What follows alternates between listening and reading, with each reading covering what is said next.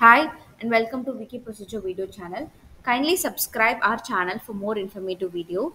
In this video, we are going to see about apply subsidy for construction of irrigation well in Manipur.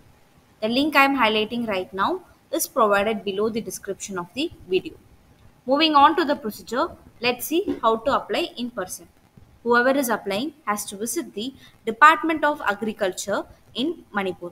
We have provided the contact link here. To know more detail about the contact, you can check our office location and contact section. Get the application from the concerned authority and complete the application. Incomplete application will not be accepted. After completing the application, submit it to concerned authority along with the documents. We have provided more information in required document section. Kindly check it out.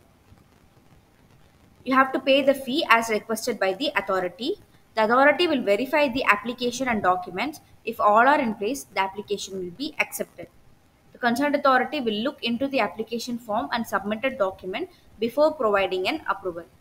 Approval will be provided within 2 to 3 weeks. If it is not provided within 3 weeks, you have to visit the office to know the status of the application.